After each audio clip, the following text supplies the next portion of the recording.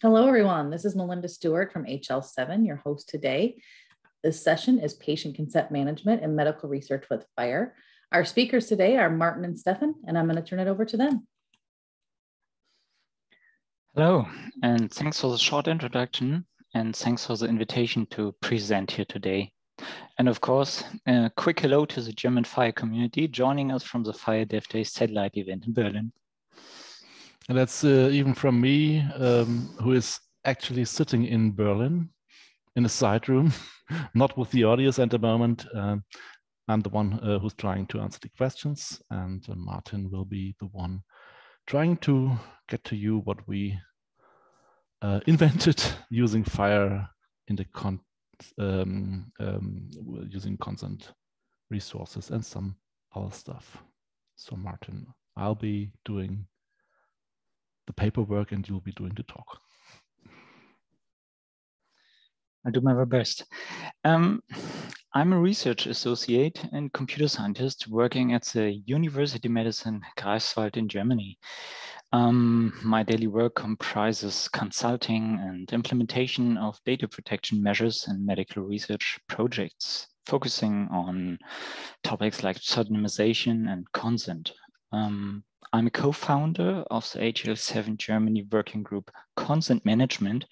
And as Stefan already said, I represent the professional part in our working group.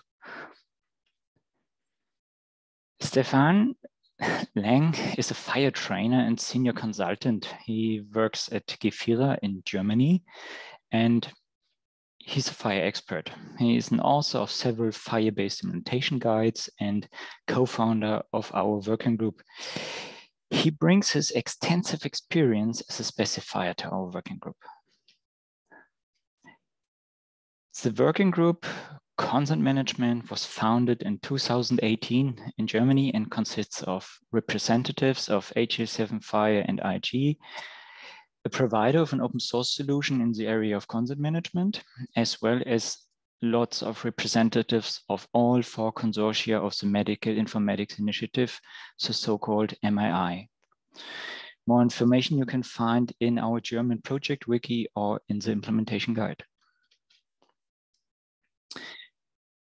In Germany, the use of medical data for research purposes requires an informed consent of the patient and it should be compliant with the European General Data Protection Regulation. Starting point for our working group was a certain lack of technical interoperability when it comes to the technical representation of the patient-informed consent. So different technical approaches within the wider IHE-HL7 FHIR community for consent management exist. What is consent management? Um, consent management comprises the definition of modular and structured consent templates, the documentation of the filled patient consent, as well as the automated consent enforcement. So our goal was it to specify unified FHIR-based profiles for modular consent templates and to enable an improved mapping of consent content with FHIR. But what exactly is a consent template? Typically, it's a version consent template. It has a header, it has several assigned modules, um, additional items, and maybe a footer text. It is based on a simple template document. Consent modules represent selected sections of the template. For example, to ask the patient for consent for data processing of his or her data, which might be accepted or declined. Each module groups a certain set of consent policies, which represent specific and detailed actions to be allowed by the patient. After the patient has inf been informed about details of data processing within a specific research project, he or she signs the consent based on the template for a specific research purpose. And this electronic document filled and signed by the patient is electronically documented and results in queryable consent policies for a simplified consent enforcement. In this way, questions such as, may the data collected be shared for research purposes can be answered automatically.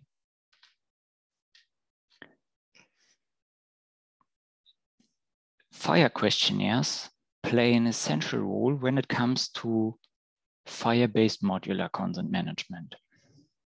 The profile template module represents consent modules which are reusable, um, containing questions and links to consent policies. These modules are merged into project or task-specific structures with the help of the template frame. A questionnaire composed is then generated from the definitional artifact of the template frame, which can be processed and displayed by any questionnaire renders, for example. The data entered into questionnaire composed are stored FHIR compliant in a questionnaire response. And based on these informations, a structured and, if necessary, machine processable FHIR consent resource is generated. But um, of course, in principle, it is possible to implement only parts of this in an individual implementation. In total, we specified 10 profiles, nine extensions, three value sets, and two code systems um, with FHIR to cover all necessary aspects for a maximum interoperability of existing technical concepts. So I will try to give a simplified overview. As already stated, the questionnaire response references to a renderable content template, the questionnaire composed, which is derived from a version content template frame, which includes several template modules in terms of sub-questionnaires. Based on the accepted and declined consent modules specified in the questionnaire response, the automatically processable FHIR consent resource is generated. Electronic signatures of the patient or educating persons can be depicted using provenance resources. Available scans of a paper-based consent document might be stored with the help of document reference resources. The patient, as a person concerned, must of course also find um, his place in this concept of FHIR resources. Um, a FHIR patient profile has been devised, the consent patient, for reasons of data protection. It completely eliminates demographic and medical data. This is very important. This variant of the patient resource usually identifies the patient by means of a pseudonym and it is referenced accordingly by the other resources, as you can see in the figure, um, in order to maintain the personal reference. At the same time, the consent is usually collected in relation to an institution or a research project. This can be mapped in FHIR using organization or research study resources. So to sum it up, we achieved our goal. Today, our specification of profiles, extensions, value sets, and code systems is freely available. The solution concept enables the required convergence of the modular consent approach, IHE, and FHIR consent. In order to better understand the complexity of these concepts, we created an implementation guide with numerous examples, explanations, and illustrations. This implementation guide was successfully balloted in Germany in September 21 and is now available in the first stable version as standard for trial use. Our results form the basis for ongoing work within the German Medical Informatics Initiative. The MII aims for strengthening medical research and improving patient care. And it is funded by the German Federal Ministry of Education and Research with about 300 million euro. A very special feature here is that all Germany university hospitals play an active role in the MII. The central element um, in this project is the MII, MII broad consent. For this reason, all profiles and examples presented in our implementation guide have already been oriented comprehensively at MII use cases. At the same time, during the profiling process, of course, attention was paid to common applicability of the profiles independent of MII and with openness for future implementations. Nevertheless, there are, of course, MII specifics that have, that have no place in general consent profiles. So based on our prior work, today, the MII core dataset module consent is developed.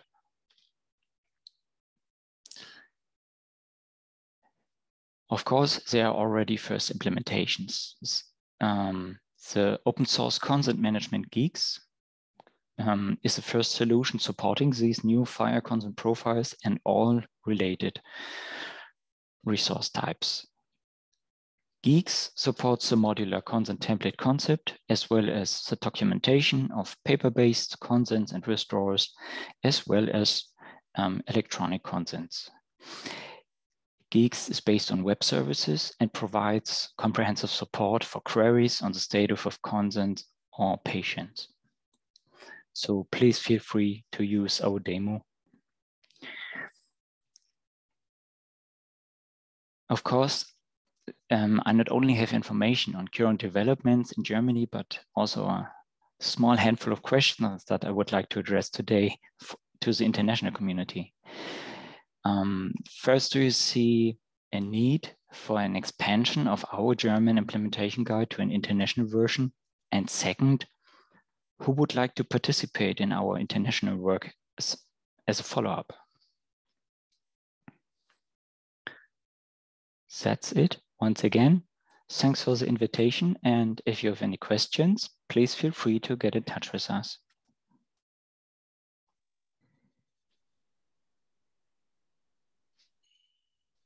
Yeah, also thank you from me, uh, from my side. Um, I think we're supposed to answer one question we have on the uh, Whova uh, app currently.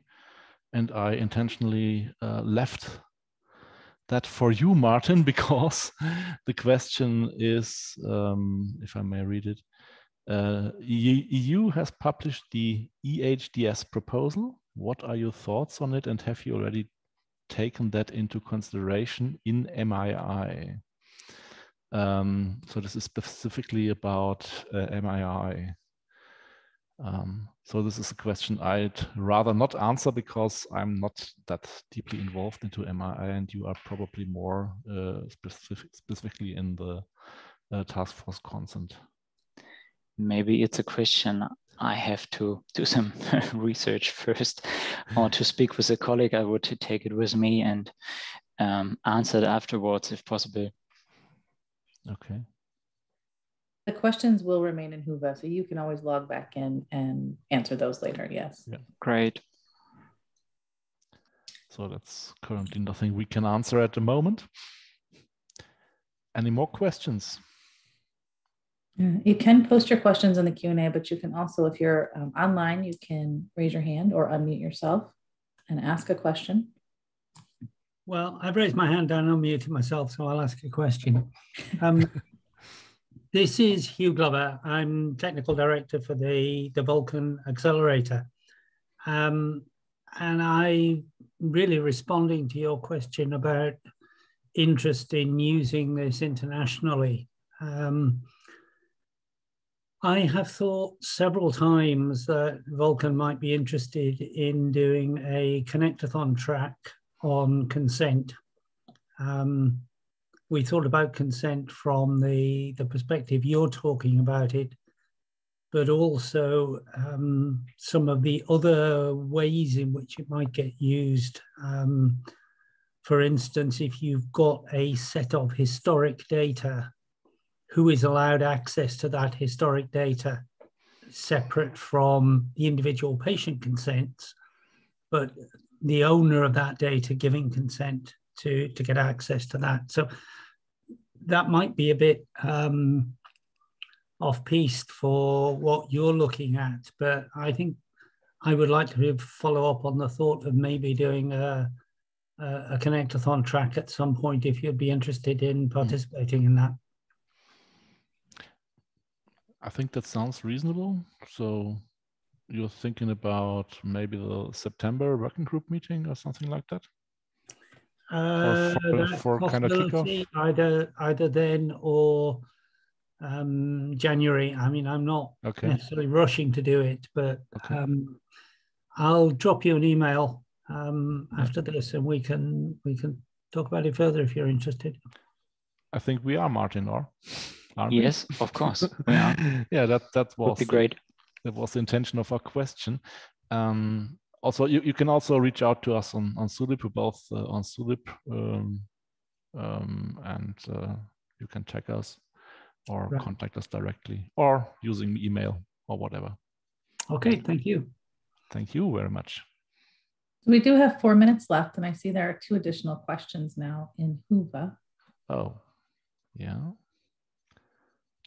So what do we have?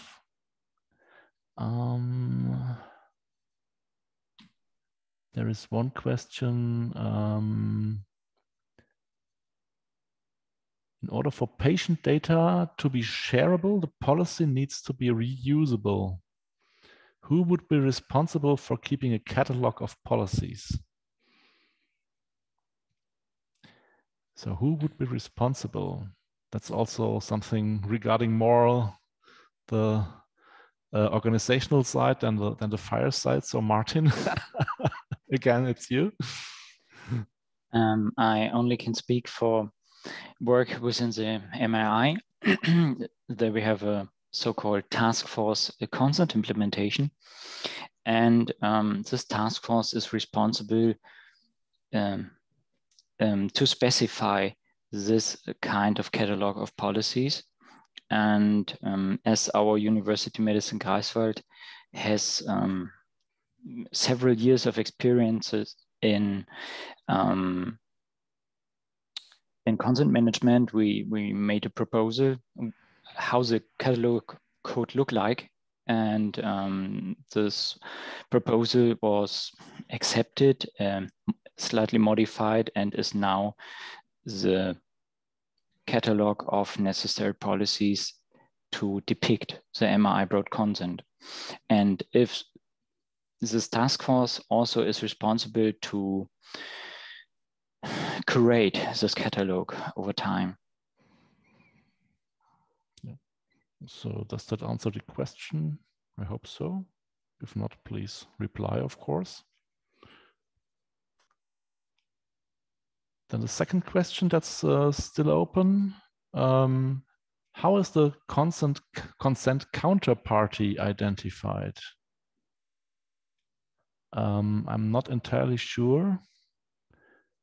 Um, the consent counterparty, uh, you mean the hospital or whoever uh, this is about, right?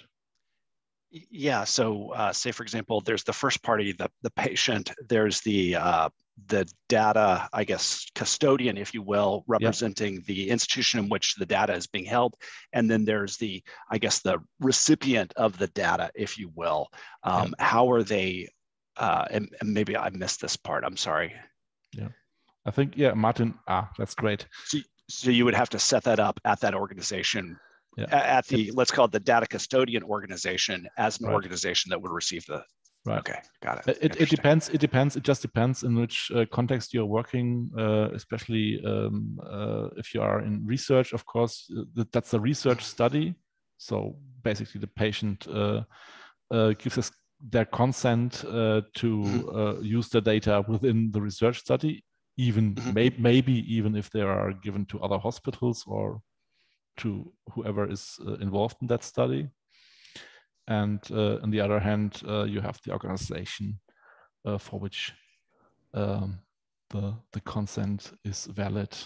And that, that may be a hospital, that may be also uh, a larger network of hospitals or uh, practitioners that do some research or just do the care? Yeah, yeah. You know, typically the uh, authentication aspect of things is different, you know, is, is handled separately from, you know, the FHIR stuff, you know, this seems like an area in which there may be a little bit of overlap in that a lot of the OAuth implementations, you know, uh, authentication implementations have to do with what resources are available to, yeah. um, let's say, a particular client identifier, those sorts of things. Yeah. Is that something that's part of this consent profile? What um, what resources would be available? I, I, would say, fortunately, it's not part of okay. of this. Um, the, the consent profile, uh, of course, um, um, holds provisions or may is is uh, allowed to hold provisions. Uh, in the case of uh, MII uh, specific profiles, uh, this is a very specific list. Mm -hmm representing the the MII broad consent um, mm-hmm. paper mm -hmm. form or PDF form that has okay. been developed. Um, uh, on the other hand, you would have some kind of policy uh, decision point, and after that, a policy enforcement point, yeah. Uh, who would basically uh, take care of everything beyond that. Awesome. Thanks. You're welcome. And and awesome work. This is really really cool. Thank you. Okay, folks, we are now at time. I appreciate both Martin and Stefan. Thank you for presenting today. Thanks everyone for participating and we will post the recording within about 24 hours. Have a great rest of your day. Thank you very much. You too. Bye-bye.